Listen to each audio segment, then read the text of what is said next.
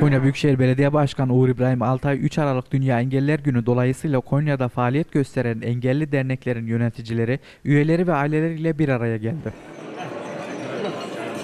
Emir Başkan, Uğur Başkan. Kızardık mı? Utandık.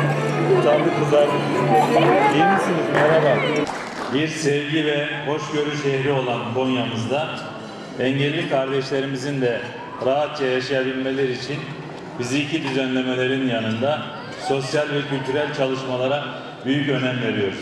Konya olarak engelsiz şehir oluşturma konusunda Türkiye örnek birçok çalışma hayata geçirdik. Türkiye'de ilk olan engelsiz mekanlar projesini hayata geçirerek bugüne kadar 62 engelli ailemizin evine gerekli düzenlemeleri yaptık. Engellilere ulaşabilirlik hizmetlerimiz kapsamında kaldırımlar, yollar, park ve bahçelerde gerekli düzenlemeleri yaptık.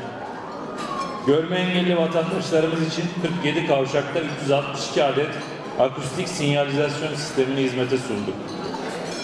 Belki bu işlerin içinde en önemlisi alçak tavanlı ve rampalı 540 adet otobüs ve 72 adet tramvay olmak üzere toplam 612 toplu ulaşım aracımızla engelli kardeşlerimizin hizmetindeyiz. Böylece sizin şehirde daha rahat bir şekilde seyahat edebilmenizin önündeki engeller de çoğunlukla kalkmış oldu. Ama yapmaya devam edeceğiz. Daha yapacak da çok iş var.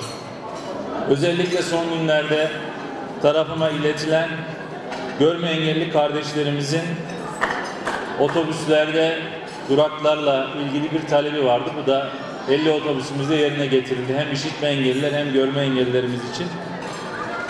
Bu süreçte kalan otobüslerimiz için çalışmaya devam ediyoruz.